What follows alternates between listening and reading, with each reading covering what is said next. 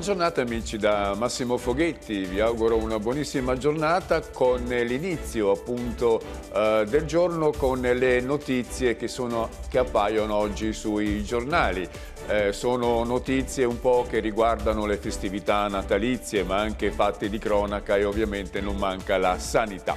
Prima di guardare le prime pagine diamo un'occhiata al santo del giorno e poi al meteo. Oggi è Santa Caterina di Alessandria. Santa Caterina è una santa piuttosto nota, ma pochi conoscono la sua storia. Nacque da stirpe reale, era una bellissima fanciulla, visse ovviamente ai tempi di Roma antica, dell'impero romano. Era una bellissima fanciulla, diceva, tratta molto dalla filosofia eh, e poi anche dalla fede cristiana. Si fece battezzare, ma questo suscitò le ire dell'allora imperatore Massimino che ordinò fosse legata a una ruota perché eh, la Vergine non voleva assolutamente rinunciare al proprio credo. Era una ruota fornita di uncini che nel supplizio eh, ovviamente strappavano le sue carne. Però la ruota nel momento della tortura si ruppe e allora a Santa Caterina gli fu tagliata la testa, ma anche in questo caso accaddero dei miracoli. Dunque una storia da approfondire, una storia così che può fare riflettere e amare questa santa. Ed ora diamo un'occhiata al tempo e vediamo che eh, le condizioni atmosferiche rimangono perturbate un po' su tutta la regione. Ci saranno precipitazioni nella giornata di oggi, diffuse anche a carattere di rovescio e fenomeni più blandi e intermittenti sulla zona subappenninica eh, anche sulla pianura e sulle coste. Insomma, un tempo un po' variato, ma il cielo ovviamente oggi è molto scuro e, ed è ottenebrato dalle nubi. Ed ora diamo un'occhiata alle prime pagine dei giornali, a partire dal resto del Carlino questa mattina. Vediamo la sintesi in prima pagina. Da mesi siamo senza stipendio e a protestare sono i lavoratori della Tundo che si occupano del trasporto scolastico. Eh, la Tundo è una ditta in difficoltà, da tempo non paga gli stipendi e i lavoratori protestano. La protesta dei dipendenti, il Comune ci chiede di aspettare, si tratta di Pesaro in questo caso, ma anche a Fano la situazione non è poco problematica, ma così non si va avanti. La fotonotizia riguarda sei studentesse eh, straniere che studiano a Pesaro, però dovrebbero essere rispedite a casa per problemi di burocrazia. E ancora il caso Questura, c'è stato un incontro in Regione, tra i temi affrontati la nuova sede, eh, che non si decide dove farla, la necessità di trovare un luogo più moderno e funzionale anche per il commissariato di Fano e per quello di Urbino. Infine un problema storico, quello della carenza di organico che non consente alla polizia di attuare quel servizio di sorveglianza notte e giorno che servirebbe al territorio.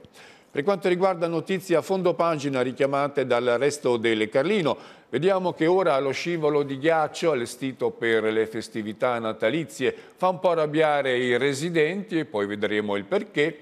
E per quanto riguarda lo sport, un richiamo per il basket. VL ufficiale e Lamb il rinforzo americano. Apriamo subito il giornale sulla pagina di Fano. Si accende il Natale, ma la piazza si blinda.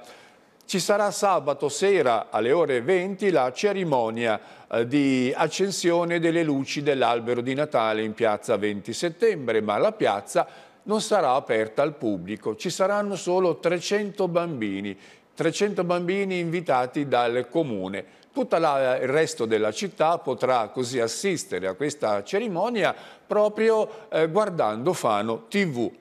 Potranno assistere anche i clienti dei locali, purché seduti, seduti appunto eh, nei, bar, nei bar. Piazza dunque transennata e via dello spettacolo. Sabato sera alle 20 si accende il Natale fanese con un magico show che vedrà proprio protagonisti i bambini di Fano con le loro famiglie. Assieme a loro ci sarà anche il Piccolo Principe che è stato il testimonial della promozione turistica nel corso di questa estate. E poi ieri l'assessore agli eventi, Etienne Lucarelli, è entrato un po' nei particolari di tutto il programma delle iniziative natalizie, evidenziando la musica che ci sarà eh, eh, sia... Eh, al Teatro della Fortuna dove verrà allestita la Bohème di Giacomo Puccini che rientra nella stagione lirica del comune, ma ci sarà anche il classico spettacolo di gospel eh, che è stato organizzato dal Fano Jazz Winter eh, non mancano ovviamente i gospel nel Natale, ma la novità di quest'anno sono anche i concerti nei balconi di Corso Matteotti che verranno così eseguiti in due giornate. E poi il Pincio sarà un po' il centro, il fulcro delle iniziative natalizie con tante iniziative per i bambini e per gli, e per gli adulti. Il Pincio trasformato nel villaggio del gusto. Un bosco per le vittime del Covid, Seri pensa al padre e si commuove. C'è anche un albero per il papà del sindaco tra gli arbusti che sabato saranno inaugurati e che comporranno il parco urbano. Verrà denominato il Parco della Memoria. Verrà uh, così inaugurato in via della Colonna, nei pressi dell'aeroporto di Fano, nel quartiere del Vallato. Sono 185 alberi che sono stati presentati ieri dall'assessore al decoro mm, Barbara Brunori, quale testimonianza dell'affetto della città per quelle famiglie che hanno sostenuto un lutto durante il periodo più duro del Covid e purtroppo ancora questi lutti continuano. Il carnevale stretto tra Covid e budget eh, si parla di carnevale eh, anche se siamo nei pressi del periodo natalizio sui giornali questa mattina perché bisognerebbe iniziare la fase preparatoria, organizzativa del carnevale, ma non si sa ancora se le condizioni della pandemia consentiranno di svolgere la manifestazione. Eh, I carristi premono perché vorrebbero sapere eh, che cosa devono fare e poi i soldi eh, un po' cominciano a scarseggiare perché le iniziative eh, maggiori che servono per tutelare la salute delle persone costano ancora di più, quindi ci saranno più spese, insomma la situazione è molto molto incerta e bisogna un po' attendere per vedere l'evolversi di quello che accadrà tra il, oggi e il mese di febbraio, quando dovrebbe eh, svolgersi il carnevale, a meno che non si sposti tutto ancora una volta in estate. A Fano l'acqua più cara delle Marche, ma IRPEF e Tari non vanno meglio. Questa è la denuncia del sindacato CISLE che ieri ha fatto il responsabile della sezione fanese eh, Giovanni Giovannelli è responsabile della Federazione dei Pensionati Luciano Rovinelli. L'allarme della CISLE tutto sta aumentando, il caro vita veramente sta salendo alla stelle, c'è una inflazione molto forte, aumentano i beni di prima necessità, però la tassazione rimane sempre forte e forse quella di Fano è una delle più oppressive di tutta la regione Marche. Tutto sta aumentando, ma non le pensioni e i redditi da lavoro, sempre più schiacciati verso il basso. Pensate che il 30% dei contribuenti fanesi non eh, eh, ricava un reddito superiore a 10.000 euro. E chi sono queste persone? Sono coloro che hanno un minimo di pensione, sono coloro che hanno un lavoro part-time, oppure sono quelli che lavorano eh, in, estate, solo, quindi un, solo pochi mesi all'anno. Ebbene, per questi la vita si fa sempre più dura. Pensate che l'acqua è la più cara di tutta la regione Marche, non solo della provincia, ma di tutta la regione Marche, per due motivi. Innanzitutto la, fascia, uh, la, fascia, la prima fascia, quella che dovrebbe costare di meno, va da 0 a 20 metri cubi, mentre a Pesaro va da 0 a 60. Quindi molto facile per i, fanesi superare questa fascia. Inoltre il costo proprio dell'acqua, della la tariffa, è la più alta appunto della regione. Non solo, ma abbiamo l'IRPEF che è aumentata del 2,7% lo scorso anno eh, scusate, la Tari che è aumentata del 2,7% lo scorso anno e l'IRPEF che è lo 0,80 per tutti, sia coloro che hanno pochi soldi che invece coloro che stanno bene, mentre a Pesaro c'è una fascia di esenzione fino a 9.000 euro che coloro che hanno un reddito così basso non pagano l'IRPEF. Insomma una situazione di disparità che vede Fano un po' dal punto di vista fiscale eh, una, una, delle città insomma, non certo tra le migliori del territorio. Vediamo una notizia di cronaca, testata in campo, un calciatore operato al cranio è accaduto a Fraterosa, atleta del Torre San Marco colpito dal portiere avversario e trasferito ad Ancona dove è stato sottoposto ad un intervento di urgenza. Eh, parla l'allenatore, Anaclerio si sta riprendendo, i suoi compagni gli, danno, gli hanno mandato un video. Eh, L'aggressore è stato squalificato per più di due anni fino al 30 dicembre del 2023, un incidente sportivo che forse insomma, eh, è determinato da un eccessivo agonismo. E poi c'è un caso anche di estorsione a San Costanzo, a una donna uh, vittima eh, eh, all'oppressore sono stati concessi i domiciliari. L'udienza di convalida per il 42enne arrestato dai carabinieri dopo aver incassato 100 euro sotto riscatto. E diamo un'occhiata ora anche alle notizie che riguardano Urbino. Si rinnova il polo universitario penitenziario. L'Ateneo di Urbino è in prima linea nel far laureare gli studenti carcerati. Ci sono iscritti a 10 corsi, alcuni attendono di discutere la tesi. Il periodo di detenzione si trasforma così in un vero periodo di riscatto perché poi acquisendo una laurea, una volta usciti, si può eh, rifare una vita nuova.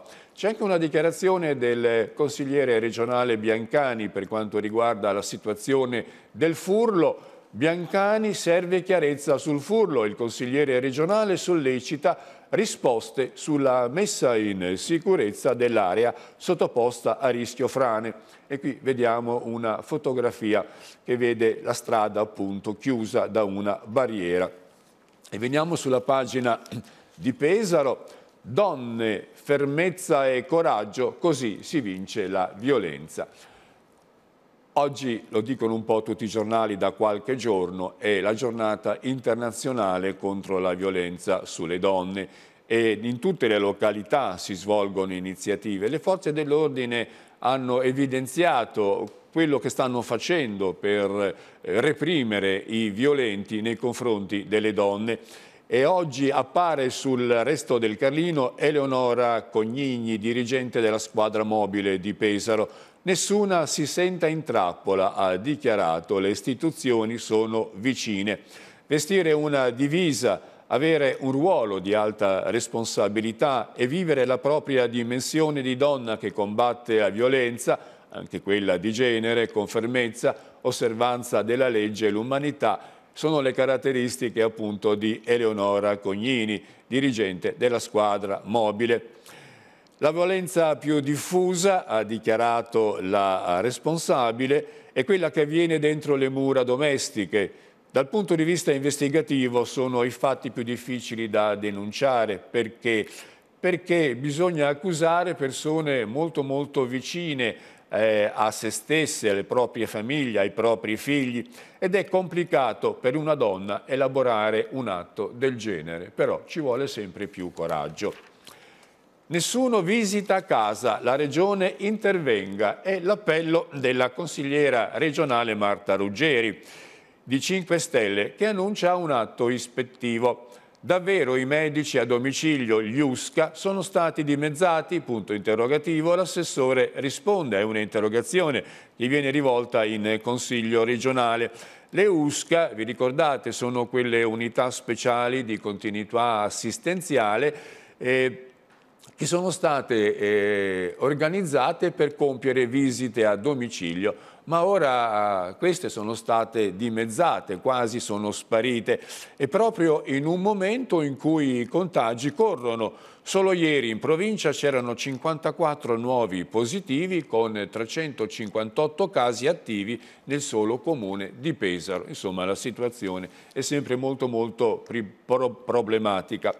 E ora il virus dilaga nelle scuole, contagi e alunni in quarantena. All'Istituto Olivieri il preside Bosio manda a casa tre classi, altre cinque hanno un positivo. Alla Leopardi, colpita la primaria, la preside Lucia Nonni, DAD per una classe, tamponi in un'altra e quindi si ricomincia con la didattica a, a domicilio, la didattica in lontananza. Via San Decenzio riaprirà a senso unico. L'assessore Belloni confida che possa succedere tra una decina di giorni. Queste sono le assicurazioni che sono arrivate dal Ministero.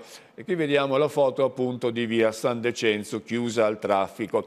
Intanto sotto il ponte dei Capocini i primi passi in vista dei lavori. Quest'area non sarà più destinata alla sosta delle automobili, ma vi realizzeremo, dice, dice eh, l'assessore Belloni eh, una piazzetta al servizio del Bike Hub, sarebbe un po' la pianificazione della mobilità ciclabile.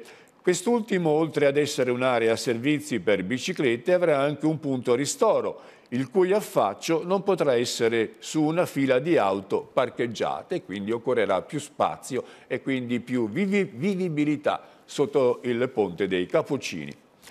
E qui vediamo la vicenda delle ragazze che sono giunte dall'est e sembra che debbano essere rispedite a casa. Vengono dalla Russia e dal Kazakistan, sono iscritte al conservatorio, rischiano di perdere le borse di studio e di dover ripartire. Sono sei ragazze musiciste del eh, Conservatorio Rossini, alloggiate all'Erdist di Pesaro e temono di perdere il loro posto letto e le giornate all'insegna del canto e della musica perché? Perché manca una firma cartacea e non telematica che in Russia eh, non si può dare perché in Russia si dà solo quella digitale. Insomma un problema burocratico di carattere internazionale che però sta avendo degli effetti particolarmente penalizzanti.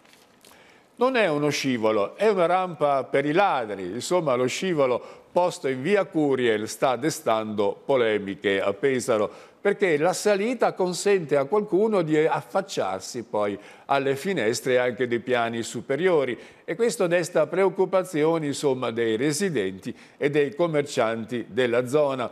E poi abbiamo il caos di via 11 febbraio, una brutta cartolina di Natale, protestano i commercianti della zona. In 500 metri osservano, abbiamo due cantieri, una strada chiusa e mancano anche i parcheggi, così i clienti scappano. Gli ex dipendenti dell'Attundo senza stipendi, il comune ci chiede di aspettare, ma è dura. Dopo i guai con la vecchia azienda, sono stati assunti da quella che ha rilevato il servizio cittadino degli scuolabus. I dirigenti comunali hanno assicurato a questi dipendenti che arriveranno i pagamenti degli arretrati, però ci vuole ancora tempo. Insomma, questi, questi, queste persone, questi lavoratori sono stanchi di aspettare, eh, sono una quarantina, insomma non sono pochi, e pensate hanno poi delle necessità incombenti, hanno delle spese, arrivano anche le festività e farle senza risorse è veramente una situazione brutta, penalizzante anche questa. Ricci, terzo mandato ai sindaci e basta con l'incandidabilità. Il sindaco è stato un po' protagonista dell'assemblea del PD in Campidoglio a Roma con Letta. Non si capisce perché solo noi e dobbiamo sobbarcarci di tante norme discriminatorie, ha detto il sindaco, comprese le dimissioni obbligatorie per candidarci, ma non sono solo questi i problemi del sindaco, a parte il tema della tutela, eh, il sindaco ha moltissime responsabilità ma anche moltissimi rischi, magari li compie un dipendente, lui è responsabile pure in secondo grado, ma poi passa veramente dei guai. Insomma, la riforma del testo unico degli enti locali va fatta, dice, dice Ricci, e va fatta alla svelta. E poi ancora, colletta alimentare, aiutiamo chi non ce la fa. Sabato torna nei negozi l'iniziativa dedicata alla solidarietà. Basta una scatoletta di tonno, pensate, basta una scatoletta di tonno, di riso, insomma, un, eh, una um, scatola di pomodori, qualcosa per essere protagonisti e aiutare tanta, tanta gente. Vediamo la prima pagina del Corriere Adriatico questa mattina vaccinati e guariti, libertà totale, ok del governo al Super Green Pass, dal 6 dicembre Novax fuori da stadi, ristoranti, bar e discoteche. Acquaroli dice io faccio la terza dose ma cambiando sempre le regole si rischiano confusione e tensioni. Ormai la presa di posizione del Presidente della Regione Marche è piuttosto nota. La fotonotizia centrale del richiamo del Corriere Adriatico, prima pagina, è dedicata alla chiesa di San Francesco di Fano, eh, con ancora la discussione sulla sua copertura. E poi le tre notizie a centropagina Pesaro, angherie per vent'anni, il marito ora deve scontarne tre in carcere, ancora in comune nel 2022 25 nuove assunzioni, via libera sindacale e Urbino, reclusi ma laureati, nuovo accordo tra Ateneo e carceri, un articolo di Gullini. Per quanto riguarda Fano, vediamo subito l'apertura che dedica il Corriere Adriatico, lo dedica alle dichiarazioni della CISL, una politica fiscale ingiusta, tariffe dei servizi altissime e il sindacato critica il comune anche per l'IRFF massima, non bastano gli aiuti alimentari. E poi l'articolo di fondopagina, il bosco della memoria per le vittime del Covid, sabato alle 9 inaugurazione nella zona di via Colonna, in tre aree a dimora 185 alberi. A forte rischio la prossima edizione del Carnevale, l'articolo di spalla della prima pagina di Fano del Corriere. Il budget basso per il Covid non copre il monte spese affidato allo studio alla Politecnica per una copertura trasparente la chiesa di San Francesco, una chiesa è stata diroccata a causa del terremoto degli anni 30, è stata scoperchiata in questo caso per garantirne la stabilità.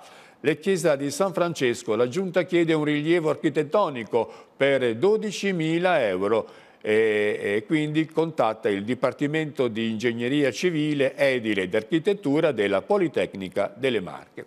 E poi anche il Corriere Adriatico descrive un po' le iniziative di Natale che prenderanno il via da sabato prossimo con l'inaugurazione dell'accensione dell'albero in piazza 20 settembre. Fossombrone, lavori pubblici, adesso parte una stagione di nuovi impegni il vice sindaco Chiarabilli, una stagione, una stagione con opere sempre più urgenti per le strade, vengono assegnate 500 mila euro. A breve partiranno dunque importanti opere pubbliche nella città metaurense, la sistemazione dei giardini di Viale Cairoli, il marciapiede di Via Martiri della Resistenza, adeguamento sismico delle scuole di Isola di Fano e Borgo Sant'Antonio, adeguamento antincendio della scuola secondaria e dentro fine mese si progetterà e si finanzierà l'asfaltatura nelle strade per oltre 500 mila euro. Questo è un po' il disegno che ha fatto il vice sindaco Chiara Pilli.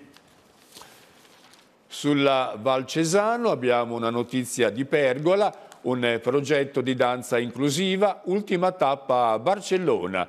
Al ritorno l'associazione Ishamanka organizza un workshop alla mole vanvitelliana di Ancona.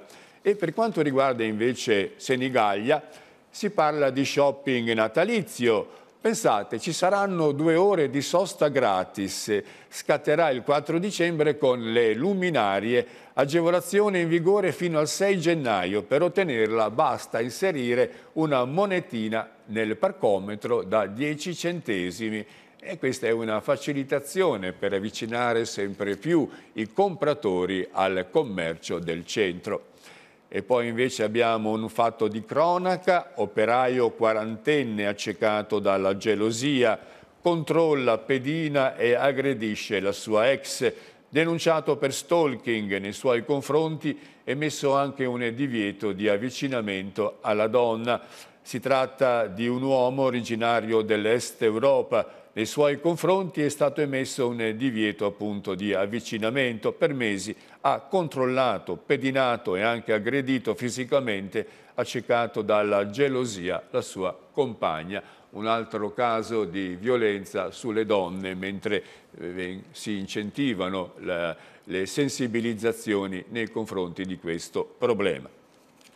Giriamo ancora il resto, il Corriere Adriatico sulla pagina di Pesaro, vediamo qualche notizia, siamo ormai in conclusione, si parla molto dei tempi troppo lunghi per i tamponi, arriva il drive-in di Pesaro, l'attivazione a partire dal 2 dicembre per due pomeriggi a settimana, rafforzate anche le USCA e altri medici per rendere operative tre unità. E qui vediamo invece un eh, giudizio, un commento per quanto riguarda le attività del Natale sulla introduzione del Super Green Pass. Abbiamo quattro personaggi che ne parlano, sono personaggi significativi, Amerigo Varotti della Confcommercio, Adolfo Ciucoli della Confesercenti, Alessandro Licurgo e Massimo Benedetti che è il responsabile del trasporto pubblico valutato un consenso del 99% degli operatori per evitare chiusure. Diamo anche un'occhiata allo sport, vediamo che la VIS eh, si fa forte di Cannavò, il mio gol per non ritornare nel tunnel, ha dichiarato il giocatore che sta risalendo ai livelli, ai livelli di un anno fa. Lavorando bene, ha dichiarato, i risultati arrivano, ho sempre dato il massimo e continuerò. Il Fano Calcio ha tifosi speciali, passione senza confini per i Panthers e gli Ultras che si sono sobbarcati, pensate, 900 km di, di, percorso domenica scorsa per raggiungere Caserta, 900 km tra andata e ritorno. VL preso l'americano e Doron Leb, ecco all'esterno di 1,93 di altezza, carriera importante la sua tra gli Stati Uniti e l'Europa, ultima esperienza in Polonia, arriverà nel weekend per rafforzare la squadra. E questo per il momento è tutto, Massimo Foghetti vi saluta, vi dà appuntamento a domani alle ore 7 per la rassegna stampa e questa sera alle ore 20.30 con il TG Tifano TV. Buona giornata.